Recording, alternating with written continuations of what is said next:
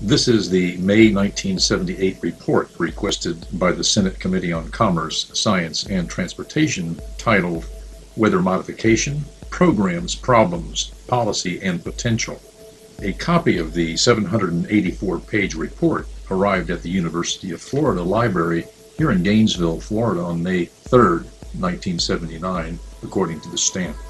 The report was prepared at the request of Senator Howard W. Cannon then chairman of the Committee on Commerce, Science, and Transportation in the United States Senate.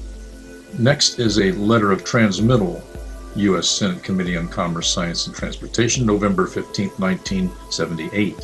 To the members of the Committee on Commerce, Science, and Transportation, the report was prepared by the Congressional Research Service under the direction of Dr. Robert Morrison, Specialist in Earth Sciences, Science Policy Research Division. The completion of the report is particularly timely due to the upcoming recommendations expected from the Weather Modification Advisory Board and the Department of Commerce as Public Law 94-490 on the future federal role in weather modification, signed by James B. Pearson, ranking minority member. The left page contains the committee members in 1978 at the time the report was submitted. The current members in 2015 are listed on the committee website. See if any committee members represent your state. Phone numbers and contact information are available.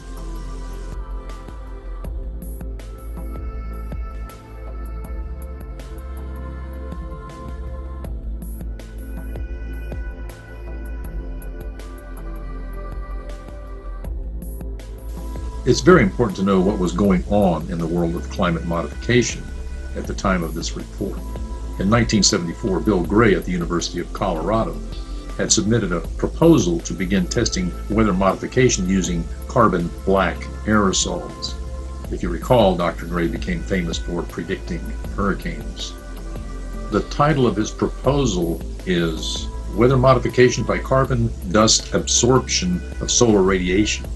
The preface of Dr. Gray's report reads the five papers of this report have been written in an attempt to open up a new dialogue among meteorologists and other scientists on the possibility of mesoscale weather modification through the carbon dust interception of solar energy.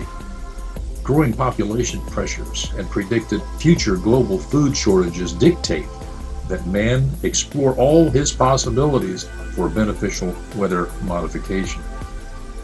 Nearly all the weather modification efforts over the past quarter century have been aimed at producing changes on the cloud scale through exploitation of the saturated water vapor pressure difference between ice and water.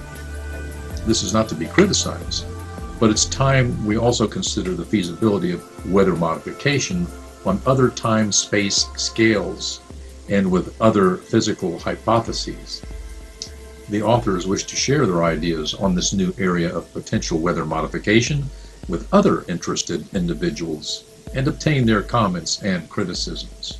They are hopeful that more exploratory research on this subject can soon be started. A link is provided for you to review this article on Dr. Gray's carbon dust proposal, in addition to a 2009 proposal by NOAA and the Department of Homeland Security to use carbon black aerosols to modify hurricanes. Former NOAA head Dr. Joe Golden, speaking for the Hurricane Aerosol Microphysics Program, HAMP, explains how computer models predict carbon black aerosols can be dumped into the circulation at precise points to increase the strength of a tropical cyclone.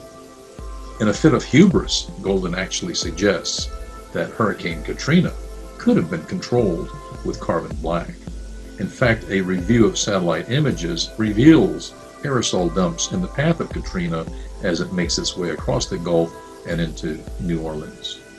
Next is a letter requesting the weather modification study on July 30th, 1976, by Senator James B. Pearson to Dr. Norman A. Beckman, Acting Director of the Congressional Research Service.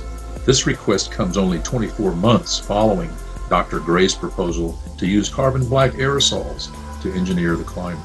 Next is a letter of submittal from Gilbert Gude, director of the Library of Congress Congressional Research Service, dated June 19, 1978, to Senator James B. Pearson, informing him that a 784 page report titled Weather Modification Programs, Problems, Policy, and Potential is ready to be submitted to the committee. On the next page, we note that this important 1978 report documenting deep federal and military involvement in climate modification was only made available as a PDF document in 2013 thanks to scanning by personnel at archive.org. A quick scroll through the contents reveals a highly detailed and scholarly report with abundant sources. The summary and conclusion reveals the federal government's excessive ambition in weather and climate modification for war and profit. There is little doubt the climate change we see today is a result of the past 40 years or more of aggressive globalization and climate modification strategies where secret operations and secret agreements by international governments are to blame for weaponizing Earth's atmosphere.